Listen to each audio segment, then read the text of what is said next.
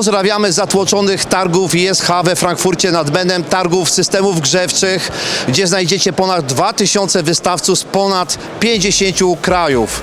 E, Ekipa Grobenergia czteroosobowa już się rozpieszła, tak wiele jest tutaj do zwiedzania.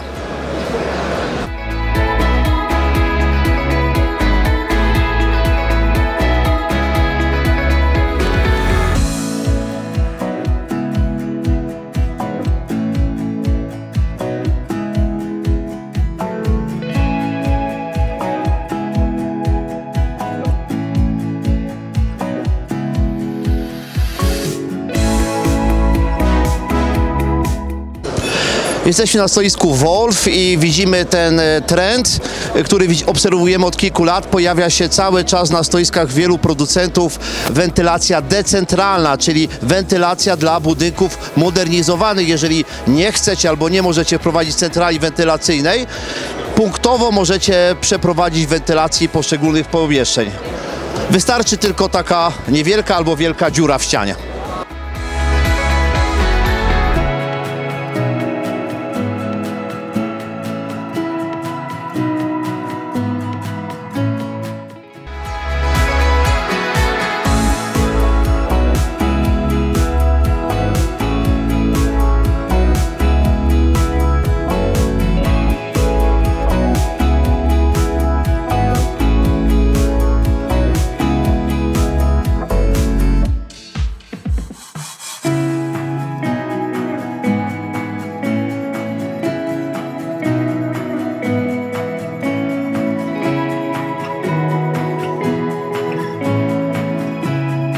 Jesteśmy na stoisku Wisma, z nami jest Dawid Pantera, witam serdecznie.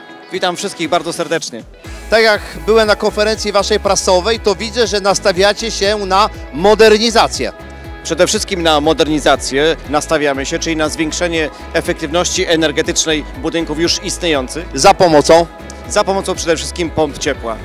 Y, W zakresie mod- modernizacji jest potężny potencjał do zrobienia. Bardzo dużo y, budynki wy- wymagają energii i teraz tu ograniczając zapotrzebowanie energetyczne i montując urządzenia, które jeszcze w jeszcze optymalniejszy sposób tą energię wykorzystują, możemy naprawdę bardzo dużo dla środowiska i dla, i dla naszego portfela zrobić. Słuchaj, widzę, że stoisko podzieliście na kilka sekcji, ale dominuje modernizacja. Co tu zobaczymy ogólnie? E, Tak, podzieliliśmy na kilka sekcji. Jest za, zarówno przyszłościowa, przy, przyszłościowe spalanie, czyli w dalszym ciągu nie zapominamy od, od tego, z czego firma Wisman się wywodzi, czyli spalanie, czyli kondensacja bardzo efektywna, ale przede wszystkim tutaj dominują pompy ciepła.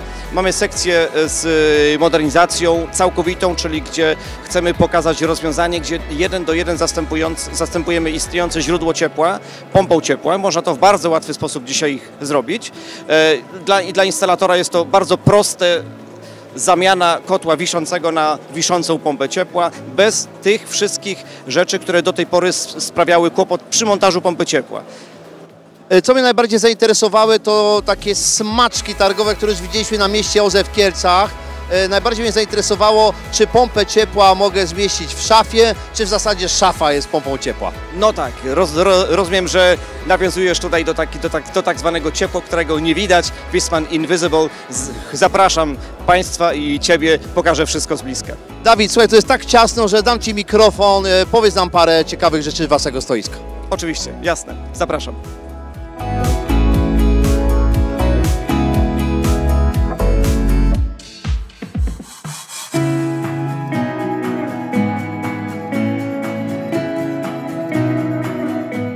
Tu na tym przykładzie mamy dokładnie pokazane wn- wnętrze Wisman Invisible, czyli co dokładnie kryje się pod tymi obudowami. Od samego początku idąc są moduły zbiornika ciepłej wody użytkowej, moduł wewnętrzny pompy ciepła z całą hydrauliką i oczywiście hydraulika, która jest potrzebna w każdej instalacji grzewczej. Natomiast coś tu jest jeszcze ekstra. Można ten moduł ogrzewania i przygotowania ciepłej wody użytkowej uzbroić dodatkowo w moduł wentylacji mechanicznej z z odzyskiem ciepła. Jest to moduł, który idealnie pasuje do całej reszty. Można to łączyć, może być to też jako osobny komponent, dlatego że hydraulicznie nie jest on w żaden sposób połączony z instalacją grzewczą, więc może być elementem, który jest e, zlokalizowany w dowolnej części budynku. Jest to element, który ma zabudowany w, środku centralę wentylacyjną, y, która odzyskuje ciepło i przy okazji odzyskuje wilgoć. Czyli ten rekuperator zawiera od razu y, zawiera w sobie wy, wymiennik tak zwany entalpiczny. Całość jest uzbrojona dodatkowo w y, tłumiki, które są zlokalizowane w górnej i w dolnej części, tłumiące wszystkie kanały zarówno po stronie zewnętrznej, jak i po stronie po, powietrza. Po zamknięciu wszy- wszystkiego obudowami nic, żaden element hydrauliczny nie jest wystawiony na widok zewnętrzny, a cała hydraulika, która jest potrzebna do podłączenia tej pompy ciepła, zlokalizowana jest w podłodze, którą potem przykrywamy kafelkami czy jakąś inną y, powierzchnią i jest ona niewidoczna. W tym miejscu to wygląda wszystko, jakbym się zna- znajdował w jakiejś okleinie kuchennej, a tak naprawdę to są panele, które właśnie wy- wykorzystaliśmy, pasujące do aranżacji wnętrza. Wy- Wykorzystaliśmy te panele do przykrycia instalacji z pompą ciepła, dokładnie tą samą, którą przed momentem widzieliśmy. Tu jak widać jest moduł taki blaszany z przygotowanymi otworami, do których mocujemy dowolnie za, zaaranżowane panele okleiny, coś co będzie nam fajnie pasowało i ten produkt staje się całkowicie w pomieszczeniu invisible.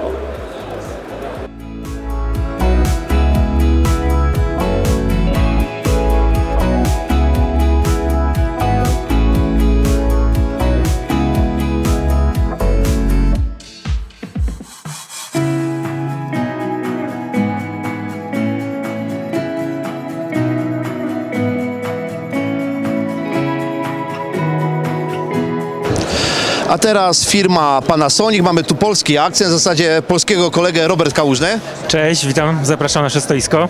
No widzę, że design się Wam zmienia, kolorystyka czarna w Waszych pompach ciepła. Tak, dokładnie to nazwaliśmy ten kolor jako grafitowy i tutaj mamy generację K, czyli pompy ciepła zasilane gazem R32 i jednostka zewnętrzna od najmniejszej trójeczki do największej 16 kW pompy i z lewej strony możesz zobaczyć dwie jednostki wewnętrzne, przy czym jedna jest e, jednostką wiszącą, ścienną, a druga jest jednostką stojącą, zabudowaną bezpośrednio na podgrzewaczu ciepłej wody użytkowej. I coś mamy na górze, widzę. Tak, jako ciekawostka tutaj jest e, z rekuperatorem. Czyli mamy e, pompę ciepła z rekuperacją. E, to jest raczej na nowe budynki czy na modernizację? To jest rozwiązanie zdecydowanie do nowych budynków. To odpowiada mniej więcej takiemu budynkowi do 140 metrów i zaletą tego rozwiązania jest to, że na 0 chyba 36 metra kwadratowego mamy jednostkę wewnętrzną i jednostkę rekuperacyjną. Coś dalej mamy monoblokowego. Tak, czyli tutaj były pompy ciepła na R32, pompy ciepła splitowe i druga generacja, która równolegle będzie w ofercie, to są pompy ciepła monoblokowe na R290. E, To jest jednostka o mocy 5, 7, 9 kW i analogicznie do niej jednostki wewnętrzne z tą drobną różnicą, że zamiast połączenia freonowego będzie połączenie hydrauliczne. E, Widać, że praktycznie to są te same jednostki wewnętrzne, to co macie i przy splitach, i przy monoblokach. Dokładnie. Z zewnątrz wygląd jest taki sam, sterowanie jest takie samo i inne zalety również są bardzo do siebie podobne. E, Czynnik R290 to taki czynnik, coraz częściej się będzie pojawiał? Zdecydowanie tak. Jest to spowodowane z całym ustawodawstwem i z ograniczeniem e, ilości czynników freonowych, jakie mogą e, być używane w Europie. Czyli polityka klimatyczna wpływa nam na rozwiązania techniczne. Tak, dokładnie tak.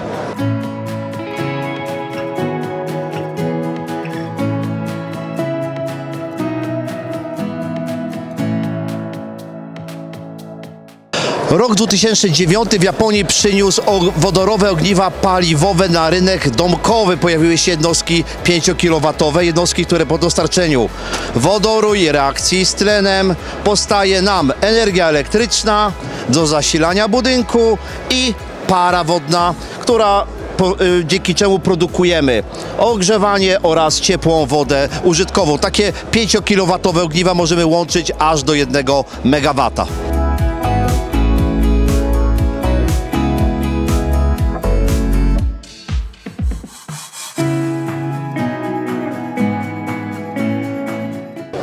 Musicie pamiętać o tym, że trzeba się poruszać między piętrami w tej samej hali. Hala 12, na przykład stoisko 16, może być aż trzy razy. Pa zwracajcie uwagę na numer piętra. Te hale są naprawdę ogromne. Chodzimy do hali 12, tym razem piętro drugie. Tu są po prostu tłumy. Niesamowicie wielkie stoiska, które giną w tej ogromnej hali. Może nie robią takiego wrażenia, dzikie tłumy, także ciężko się tu znaleźć momentami.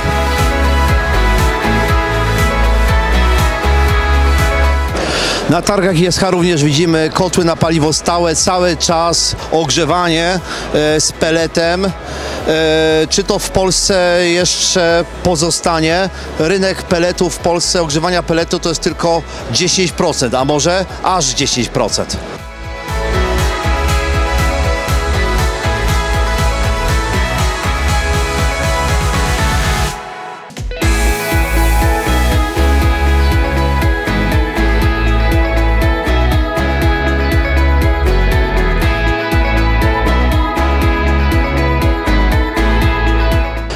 A teraz japońskie klimaty, ale tutaj polski Damian Filipowicz. Witam serdecznie. Witam serdecznie, miło mi. E, Targi SH, zaczynamy od splitu, nowa odsłona splitu na czynniku. R32 to jest nowa odsłona pompy ciepła Zubadan, myślę bardzo powszechnie i dobrze znanej w Polsce, e, więc jak najbardziej nowa odsłona, nowa obudowa, e, akustyczna sprężarki, e, wyższe temperatury zasilania i zakres pracy do minus 30 rozszerzony. Widzę tutaj, że jednostki można połączyć w kaskadach do 84 kW. Tak, sześć takich samych, do sześciu takich samych jednostek w kaskadzie. A zobaczmy, tutaj jeszcze jest jednostka zewnętrzna. Jaki zbiornik ma w sobie? Wewnętrzna, przepraszam. Tak, to jest jednostka wewnętrzna z zasobnikiem 300 litrów. To jest jednostka e, nowa, już ze zmienionym panelem dotykowym. W środku znajdziemy też e, filtr magnetyczny. e, No i myślę, że generalnie też ciekawostką jest taką, że został tu zmieniony wymiennik w środku jednostki, żeby jeszcze lepiej zoptymalizować parametry pracy tej jednostki. To takie typowe, że przyciski znikają sobie po panelu dotykowym. Klikamy. Przechodzimy na drugą stronę stoiska. No i to, co się możemy spodziewać. e, Monobloki i czynnik R290. Tak, złoty medalista targów Enex. Tak? Właśnie, to jest ciekawe, proszę Państwa, jesteście na targach ISH, na targach, gdzie są premiery światowe. A gdzie ta pompa najpierw miała premierę? Na Enexie w Polsce. Na Eneksie w mieście OZE redakcji Globenergia. I co my tutaj mamy, przypomnijmy. E, Jest to monoblok na czynnik chłodniczy R290. E, temperatura zasilania 60, 75 stopni do, e, przepraszam bardzo, e, 75 stopni do minus 15, później 65 stopni do minus 25, gwarantowany zakres pracy do minus 25 stopni. Jednostka dwusprężarkowa w tej 8 kW wersji. Tutaj widzimy, że może być na zasilaniu do 75 stopni, czyli te większe moce mogą iść do modernizacji budynków. Jak najbardziej, tak. Coś tu widzimy dziwnego, chciałbym jeszcze tutaj podejść. E, coś wielkiego. E, tutaj mamy. Co to jest to, co to, jest to urządzenie? E, Jest to jednostka na dwutlenek węgla, 40 kW. Uwaga, dwutlenek węgla, czyli najbardziej taki idealny czynnik e, roboczy pod względem polityki klimatycznej. Dokładnie tak. Jednostka na dwutlenek węgla jako czynnik chłodniczy, to trzeba zaznaczyć.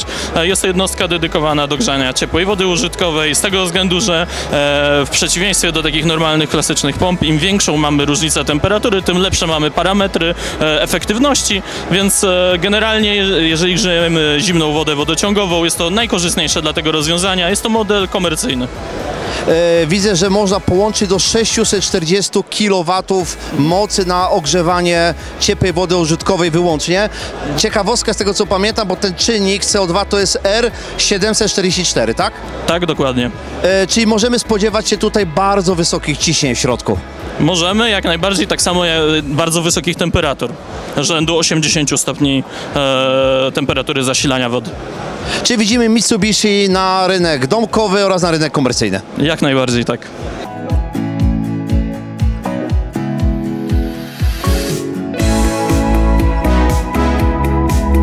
Jesteśmy na stoisku LG, ale zanim zobaczymy pompy ciepła, zainteresuje mnie nietypowy wystrój.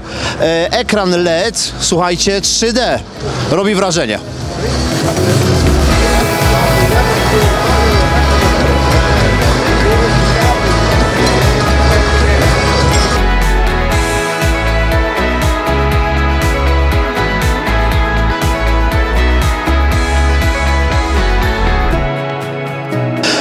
Jesteśmy na stoisku LG, oczywiście widzimy pompy ciepła, układy typu split króluje czynnik R32 i chyba już e, dla Państwa nie będzie zaskoczeniem, jak popatrzymy się na pompy ciepła monoblok, czynnik R290. Widzimy takie również ciemne jednostki zewnętrzne, ale to, co teraz najbardziej nas interesuje, to połączenie różnych technologii.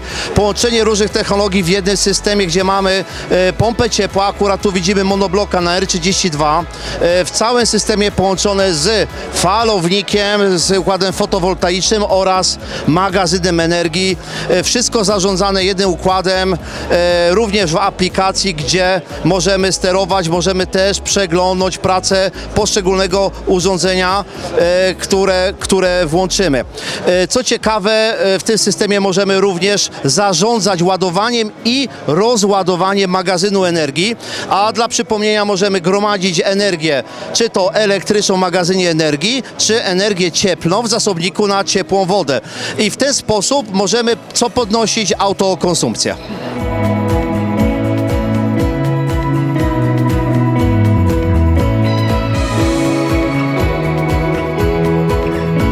Chodząc po targach ISH widzimy postawienie nie tylko na technologię, również na design. Widzieliście wiele jednostek zewnętrznych w kolorze czarnym, szarym.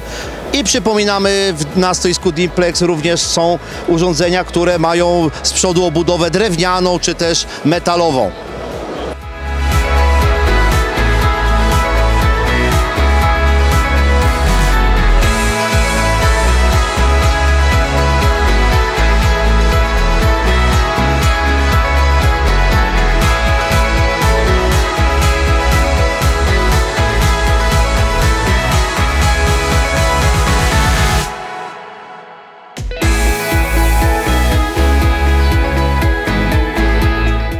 Zielono mi, czyli stoisko Wajlan, spotykamy Jurka Grabka. Dlaczego to jest tak zielone? Zielone dlatego, że jesteśmy sponsorem WWFA, stąd patrzycie na zieloną e, ziemię, zielony kolor, ekologia, oszczędność, to wszystko wpływa na to, żebyśmy mogli jeszcze więcej wprowadzać ekologii. A skoro chcecie więcej wprowadzać ekologii, chcecie ją wprowadzać w Europie, e, doszły nas słuchy, że buduje się jakaś fabryka. Właściwie skończyła się już budowa, są próbne rozruchy. W Senicy mm, na Słowacji 500 tysięcy urządzeń typu pompy ciepła powietrzne będą produkowane tuż za naszą granicą. Pół miliona jednostek to nieźle. Jest początek. Może w tym roku już nie zabraknie. W przyszłym roku.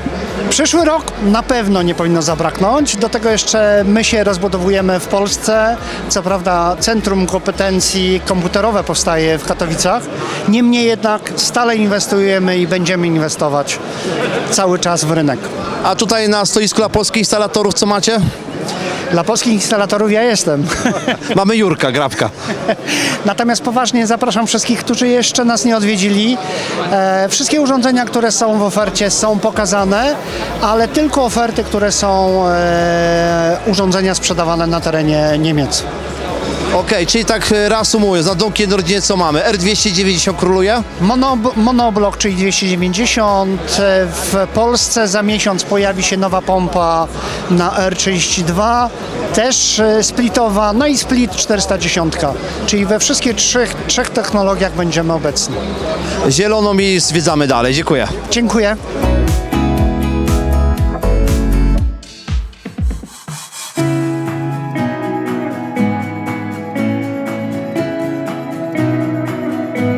Jesteśmy na stoisku NIBE. Skandynawska technologia, skandynawska dbałość o środowisko naturalne, ale na tym stoisku mocna ekipa NIBE Biawar prezentuje nowości. Nowości, w tym produkty, które pochodzą bezpośrednio z Polski. A jakie to produkty? Przekonajcie się sami.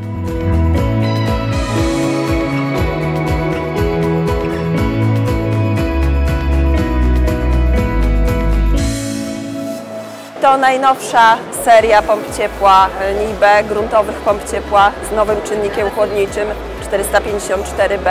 Także znowu e, kolejny czynnik chłodniczy, który ma coraz mniejszy wpływ na środowisko naturalne. E, I najnowsza seria składa się z trzech e, modeli e, całego typu szeregu, e, które mają moce do 8, do 13 i do 18 kW czyli idealne do, do zastosowania w budynkach jednorodzinnych. Aczkolwiek również te pompy możemy łączyć w kaskady do 9 jednostek, gdzie mogą pracować w budynkach o większym zapotrzebowaniu na ciepło. Co ciekawe yy, i myślę, że po raz pierwszy odnotowałam to w historii, yy, te pompy ciepła uzyskują współczynnik sprawności SCOP powyżej 6, także 6,22 to nowy rekord, który NIBE osiągnęło w tym roku.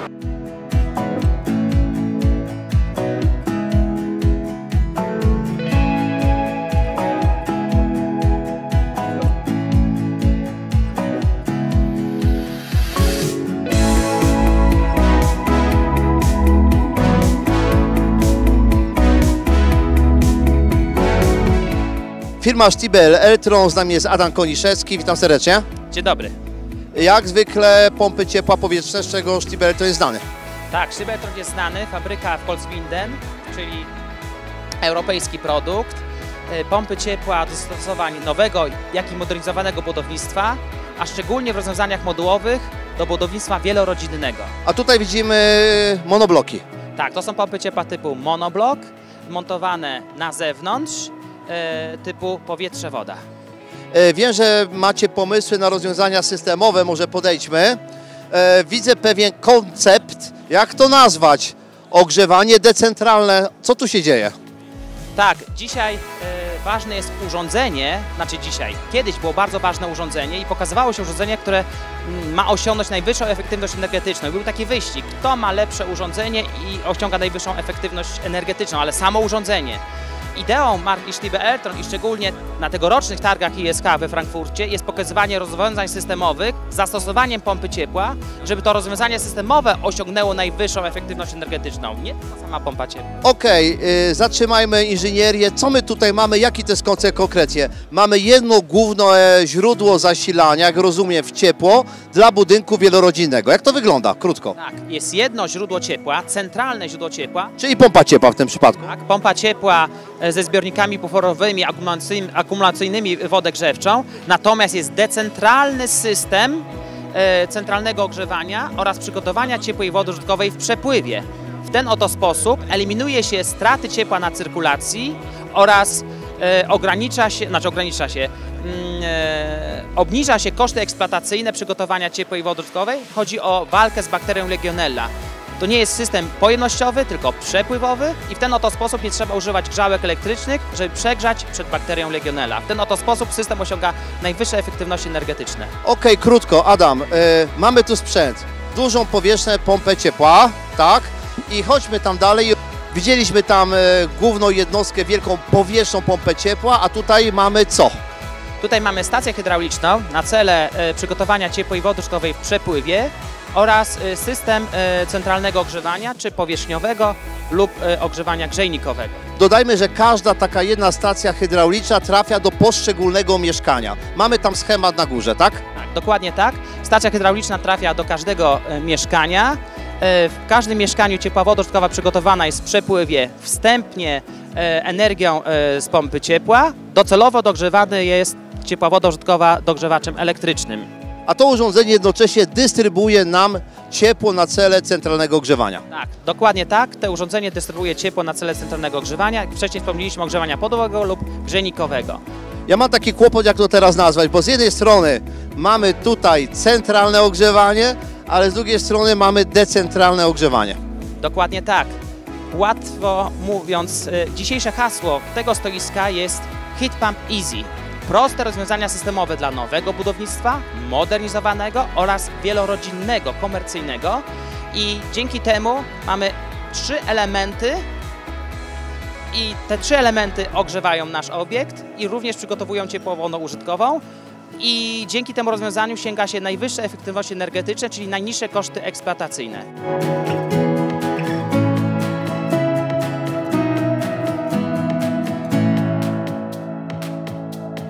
Zanim przejdziemy do pompy gruntowej, widzimy coś więcej.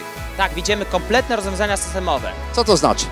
To znaczy, że chcemy pokazać każdy element systemu ogrzewania, chłodzenia, przygotowania ciepłej wodczkowej, który znajduje się w tradycyjnej maszynowni pompy ciepła. Co tu widzimy? Tutaj widzimy system przygotowania ciepłej wody użytkowej w przepływie, gruntową pompę ciepła oraz zbiornik buforowy wody grzewczej. Zdaje się, że sprzęt to nie wszystko. Widzimy jeszcze tutaj e, zaawansowane stanowiska. Co tutaj macie? Tak, tak. E, Rozwiązanie systemowe to nie wszystko, jak zobaczyliśmy te elementy, ale ważne jest jego odpowiednie dobór, zwymiarowanie, czyli od projektu po wykonanie. Więc przygotowaliśmy narzędzia online, które potrafi przygotować pełną dokumentację techniczną do zaprojektowanego systemu.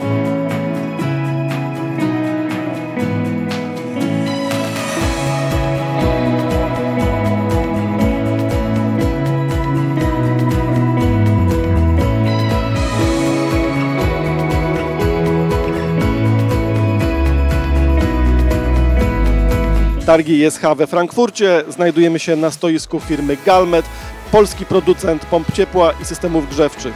Polscy producenci coraz mocniej zaznaczają swoją obecność na rynkach europejskich i światowych. Coraz więcej osób odwiedza stoiska polskich producentów, innymi na takich wydarzeniach branżowych jak to Targi ISH we Frankfurcie.